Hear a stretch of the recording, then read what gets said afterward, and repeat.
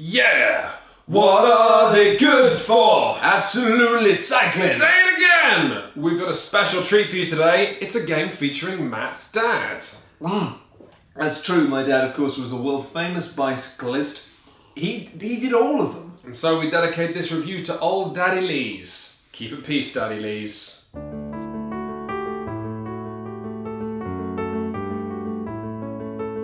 Flamme Rouge is a game about a time when the time comes when you just gotta know who is the best at bikes. And that is when the men gather on a road or anywhere where they can put the pedals up and down until they know which of them is the best at those damn bikes.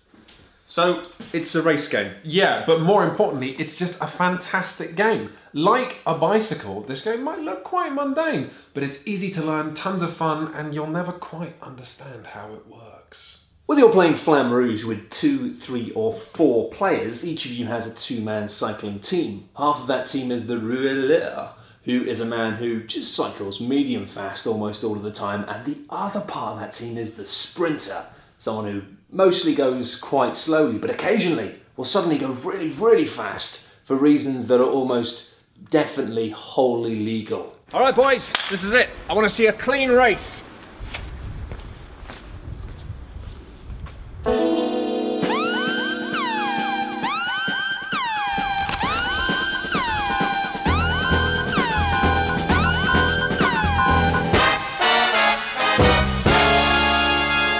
In a game about fast men, the fastest thing in Flamme Rouge is probably the rules explanation. At the start of each turn, you're going to pick one of the decks belonging to one of your two bike lists. You deal yourself four cards, you look at them, and then you pick one of those movement values for your bike list, and the other cards go on the bottom of the deck. Only then can you look at the deck belonging to the other bike list and pick a movement card for them and then put them on the bottom of your deck. Then everybody, once this is all done, reveals the cards they picked and you move that many spaces, starting from the front, going backwards. Your bicycle boys, or bi boys, will hug the innermost lane, then fill the outermost lane, then move through each other, but they can never stop on top of one another, so if the pack is dense, you might waste some of your movement. Once that's done, you take the cards you play and you throw them away as you gradually run out of energy in your thighs and whittle away at your deck. And now Matt's going to explain the other rules that make this game a game. Slipstreams allow packs of cyclists to clump up together when there is exactly one space between them. So what you do is you just take this bunch of bike men and you shove them up together, shoved, shoved, shoved, all until they're together in one tight pack. However, if you have somebody that's a bit further ahead, then they're on their own. This matters for one very simple reason. When you're at the front of the pack, you've got to do all of the work whilst everyone else behind you just breezes by enjoying wind and physics. As with life, this game is mostly about leeching off of other people's successes. So when you're at the front of a pack, be it here or here, or worse, when you're just off on your own, you have to take an exhaustion card, which is a card with a really low number on it, and add it into your already ever diminishing deck. One exhaustion card? Ah, that's fine. You'll thin your options out a tiny bit once in a while, but if you keep leading the pack, then your hands will get like this, narrowing your options, taking away your control and speed. So it's better not to be at the front of the pack then. You want to just sit behind in second place, let somebody else do all of the hard work for years and years while you bide your time until they're tired and exhausted and slip ahead and take control. And then there's hills. Hills are awful and everything is bad on hills because slipstreaming doesn't work. And if you play a movement card that's higher than a five, it's lowered to a five. That's one more thing to think about when you're managing your deck for the whole race. But then you've got downward slopes. Any card you play, if you start your turn on a downward slope, so you're trying to hit that little window, becomes a five. It's a great time to get rid of exhaustion cards. Just close your eyes, kick your legs out, feel the wind caress your thighs. Gwen, this is a family show. Oh yeah, it is. And then to win the game, though, you just need one person to cross over the finish line. So for a lot of this race, you've got all this camaraderie, trying to keep your cycle men smushed together so they both don't get too tired. Keep them in a pack until eventually, at some point, you go bang. It's time to soar ahead. Bum, bum, bum, bum, bum, bum, in the hope that you're just going to blast ahead, have that last moment of speed, cross the winning line, and and win. But I mean, I don't think I'm going to catch up with Quinns, to be honest. He's so far ahead. How is. Quinns, how are you so good at this game?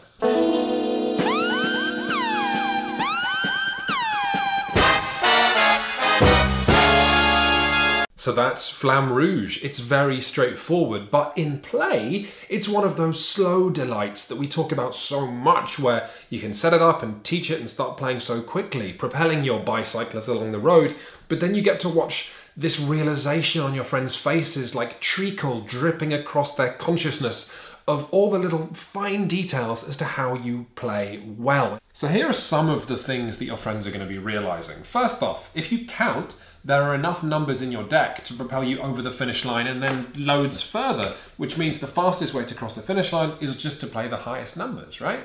But if you do that, you'll be pedaling by yourself the whole way, and then you're going to get exhausted and you won't be able to find those high numbers. So you must be part of a pack. But a pack is a very weird thing to be part of because you never want to lead the pack. So you want to go slow. But if you go too slow, then you're going to fall out of the arse of the pack like a sad turd that it's left behind that then has to cycle incredibly quickly just to catch up again. But the other weird thing about packs is that if everyone's going slow and nobody wants to be in the lead, then maybe everyone's playing their slow cards, which isn't the most efficient way to play the game. So then you want to break out of the pack and go faster than everyone else. You can cross the finish line first. But if you do that, what you don't want is for then the pack to just be one space behind you and then slipstream and get free movement behind you. So if you're going to break off, you need to do so from the position at the front of the pack, which is that place you didn't want to be anyway. So that's cool and interesting, but still, Flamme Rouge might not be much of a game if you only had one cycleman. But you don't, you have two, and you can coordinate them. In a dream game, one is always going to end up one space behind the other, and getting a free slipstream. But this is fun, it's gambling, because of course, you have to look at cards and assign one for a cyclist before you can even look at the other. So you get potential doomsday scenarios. Like maybe I have this guy go really slow so the other one can catch up and slipstream, but then he only gets slow cards so he doesn't make it, and then they both get exhaustion, and that's a nightmare. You're also thinking about the fact that in a dream situation, one of them is going to be collecting exhaustion for the whole race, keeping the other one fresh and able to burst over the finish line. That is definitely illegal. Don't do that if you're in a race. In the two player game, it's like a real psych out. Maybe I should burn ahead while I can now and get in the lead, or maybe I should just waste away through my slow cards because they'll play their slow cards as well, thinking I'm going ahead, but then actually we'll both be behind and I'll slipstream behind. And basically, you can see already it's like a mad game of spooky poker. Obviously, though, this game shines the brightest when you have a four player game, a full complement of eight cyclists. You have different packs of cyclists clumping up together around the board. You have lanes getting blocked by cyclists being up together, which means hills when everyone slows down are like terrible traffic jams, and it's all of the sweat and tears and sweat of real bicycles. So all that makes for a lovely, fresh, crisp little puzzle, like you're cycling through an alpine mountain pass with the wind in your eyes. But there are a couple of small problems with Flamme Rouge. The first little nitpick is that it's difficult to tell your miniatures apart. They do have a big letter in the back of their jersey, but you can't really see it.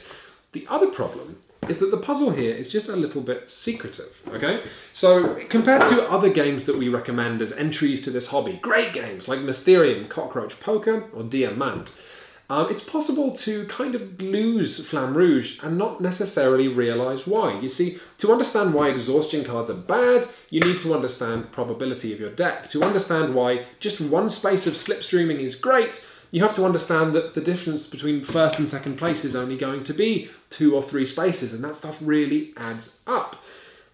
But I'm not going to call this a huge problem because Flamme Rouge has a little feather in its cap when it comes to beating out other great entry games we recommend, and that's nostalgia. This game feels cozy. It's a race. You're moving your little plastic figure towards a finish line as if you're playing snakes and ladders. People are going to feel immediately at home, more so than any other game Shut Up and Sit Down has recommended, and that, I think, goes a long way. It's simple, it's immediate, it's great. I agree. I heard this game was good, but even so, I wasn't expecting to like it as much as I ended up doing. It's never mind the uh, the ups and downs of the hills you're on. It's the tension and the excitement of the card play that's the real roller coaster.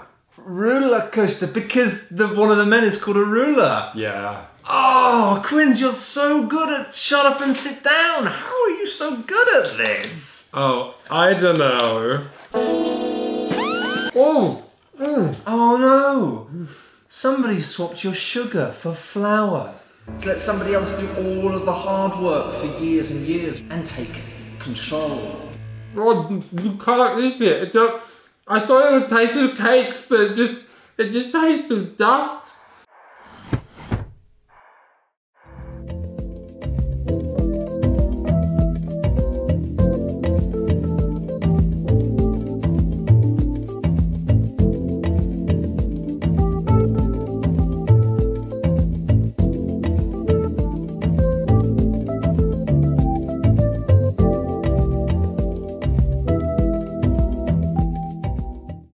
Oh my god, like.